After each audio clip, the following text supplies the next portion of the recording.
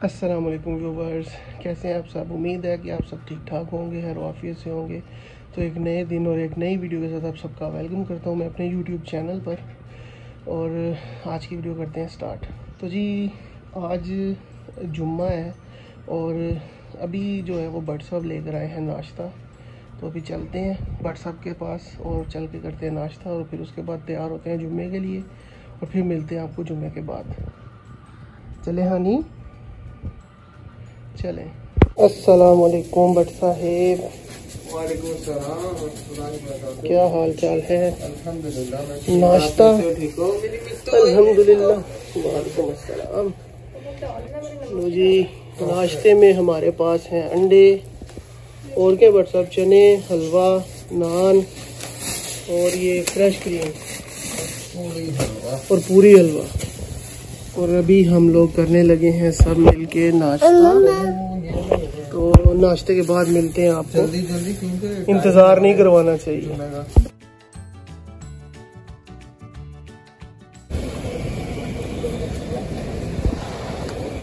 अल्हम्दुलिल्लाह जी जुम्मा पढ़ के घर आ चुके हैं। अभी मैं घर के बाहर बैठा हूँ और अभी जाएँगे ऊपर और देखेंगे फैमिलीज़ रेडी हो गई हैं। अगर हो गई हैं फैमिली रेडी तो उनको लेकर जाएँगे चाचू की तरफ़। इंशाल्लाह फिर वहाँ जाकर जो भी अपडेट्स होंगी, जो भी हम करेंगे, इंशाल्लाह आप सबको भी दिखाएँगे तो आप सबको जुम्मा मुबारक। तो चलते हैं ऊपर और फिर देखते हैं कि सब क्या कर रहे हैं।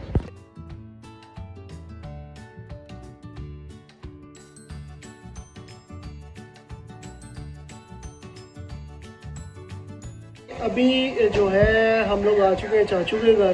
खाना वगैरह खा लिया है और अब सब सो रहे हैं। आप लोगों को दिखा दूँ, ये देखें जी।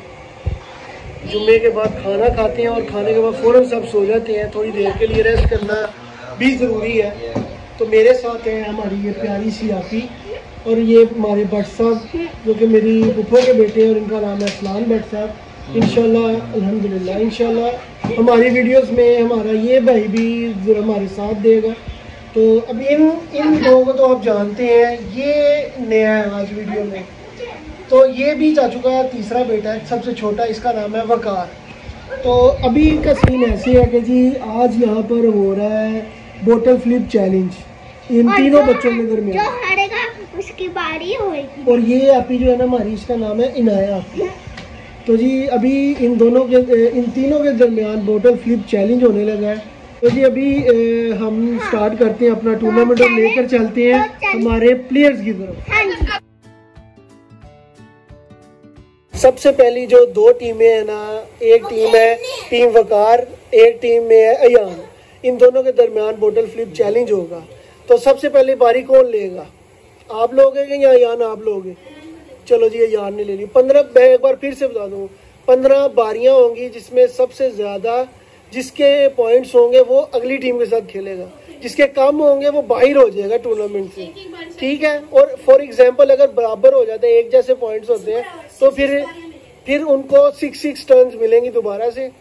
तो अभी स्टार्ट करते हैं अपना ये चैलेंज चलो जी।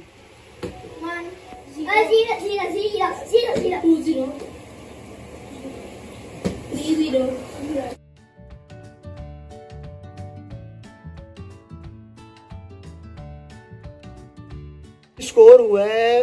अयान साहब ने अपनी पंद्रह बारियाँ ली हैं और इनकी पंद्रह बारियों में सिर्फ़ दो बार इनकी जो बोतल है ना, उसने वो स्टैंड किया तो अभी वकार की बारी है। अब देखते हैं कि वकार पंद्रह बारियों में तीन पॉइंट्स ले सकता है या नहीं। तो स्टार्ट करो जी अयान वकार साहब।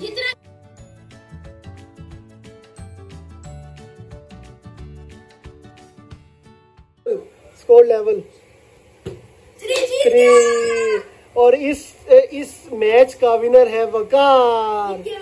जीत गया। तो जी अब नेक्स्ट मैच है बिलाल का। और वकार का। तो देखते हैं इन दोनों के दरमियान जो मुकाबला वो कौन जीतता है। तो जी अगर मैं यहाँ एक चीज़ क्लियर करना चाहता हूँ सबके लिए। अगर वकार मैच जीतता है ये वाला तो वकार टूर्नामेंट जीत जाएगा। अगर बिलाल जीतता है तो ये टूर्नामेंट बिलाल जीत जाएगा। ठीक है? तो अभी बारी कौन ले रहा है पहले? चलो यार, जो जीता था उसकी बात माननी चाहिए। तो जी बिलाल पहले बारी लेगा तो स्टार्ट करते हैं जी final round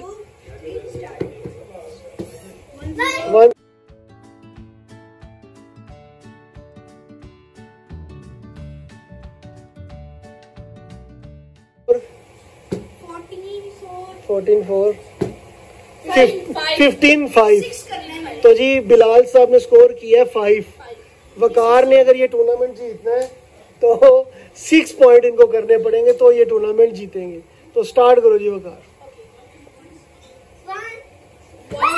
One zero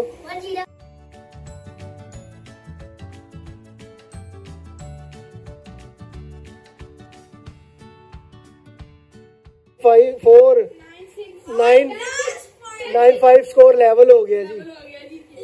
nine हो गए। Ten eleven. और ये वकार इस टूर्नामेंट का विनर है जी। वकार।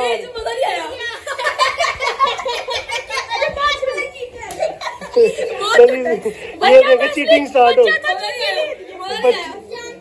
बच्चा था इसीलिए हमें जिता दिया।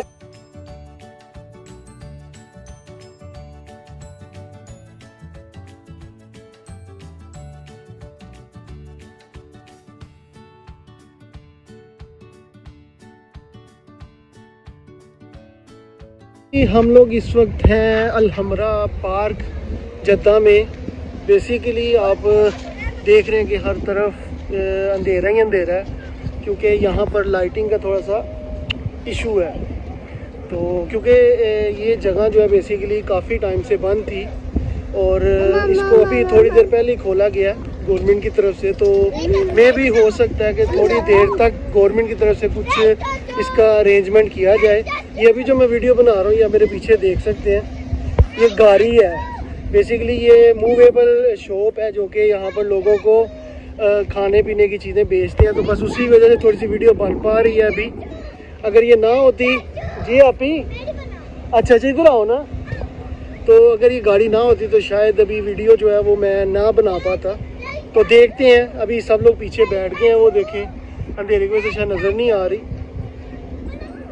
ये आ रहे हो वीडियो में, और ये हमारी आप ही जो है ना, इस वक्त कह रही है, मेरी वीडियो बनाओ बार बार उधर अंधेरा था ना।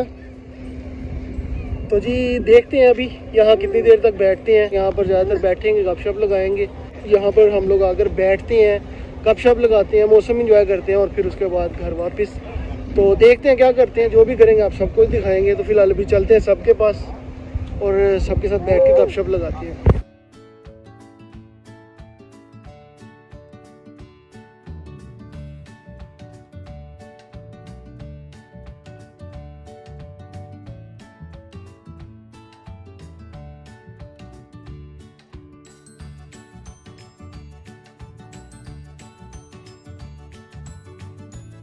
जी जनाब तो अल्हम्दुलिल्लाह से हम लोग घर वापस आ चुके हैं। अभी रात के तकरीबन सवा दस हो चुके हैं और मैं जा रहा हूँ बाहर। और अभी सीन कुछ इस तरह का है कि हम लोग आपके सामने जिस कॉर्निश पर गए हुए थे, वहाँ लाइटिंग की वजह से ज़्यादा वीडियो मैंने नहीं बनाई।